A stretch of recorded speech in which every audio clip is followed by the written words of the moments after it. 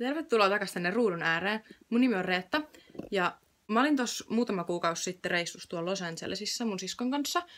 Niin mulla oli sellaisia klippejä vähän niin kuin siitä, että mitä mä ostin sieltä ja tälleen ruokaa, kaikenlaisia um, niin kuin kosmetiikkatuotteita ja sellaista.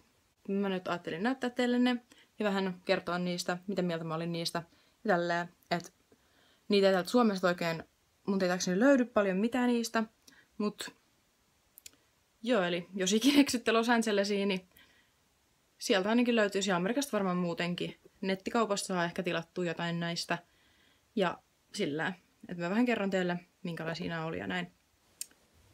Nämä ensimmäiset tässä on tällaisia vähän makeampia juttuja, esimerkiksi tällainen chia bar, sitten tällainen suklaakeksi ja tuollainen Two Moms pähkinätryffeli ja sitten vielä näitä coconut butter cups. Ne oli kaikki sille ihan niin kuin ok, mutta ei mitään mun tosi mitään lempareita.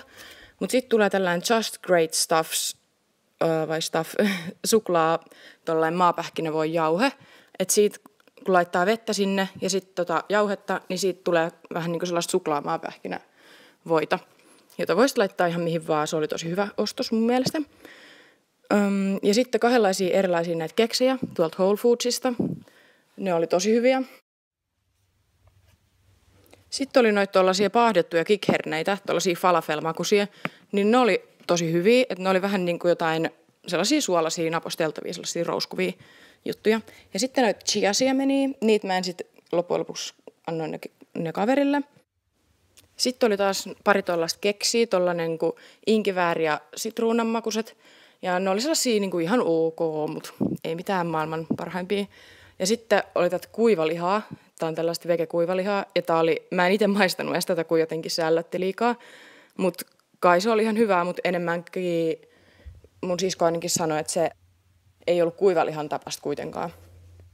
Sitten oli tuollaista Go Veggie parmesaanijuustoa. Sitten mä laitoin esimerkiksi pastan päälle ja ruoka-annoksia. Se oli aika sellaista niin kuin vahvan makusta, mutta muuten niin kuin ihan kuin parmesaanijuustoa. Et se oli tosi hyvä. Sitten oli tuollaista Dian ja Earth Balancen mm, mac and cheese. Ää, ne oli kummatkin tosi hyviä. Että tuollaisia valmisaterioita, vähän niin kuin, ihan sellaisia amerikkalaisia niin kuin mac and cheese on. Sitten tuollainen barbecue-kastike ja sitten tuollaista barbecue jackfruit. Se oli niin kuin, vähän niin kuin lihankorvikkeen voi käyttää. että tässä loppuvideossa mä kokkaan sitten toisesta näistä paketista.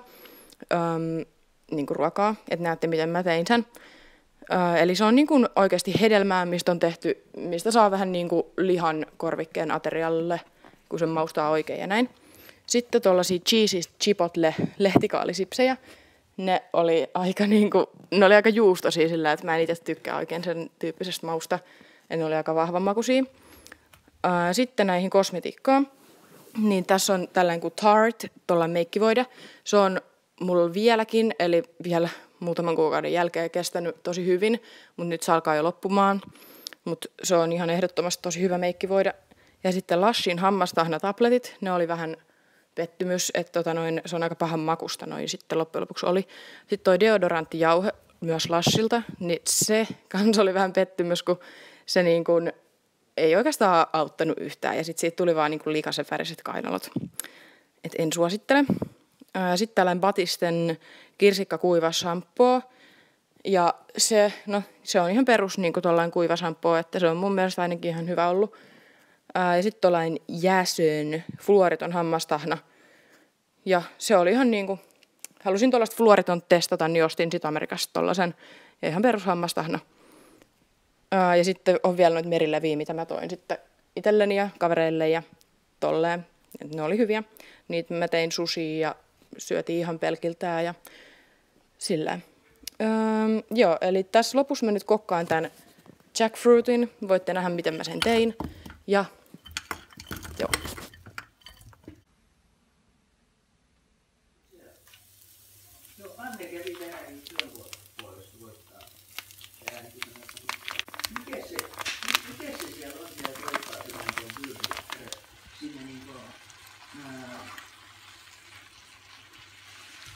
Aha. Ei, ei, se on tässä vaan ihan lähellä. Tämän, Anneli ja kusimusten välissä. Yöllä kun... Mäkin tuon huolen täysin. Mulla on. Noin, Joskus se oli siellä. No niin, kiitos kun katsoit tämän videon. Toivottavasti tykkäsit. Sait ehkä jotain vinkkejä, jos oot ikinä matkustelemassa tai mitään sellaista jossain päin. Ähm, äh, joo, ei tässä muuta. Nähdään seuraavassa videossa. Moikka!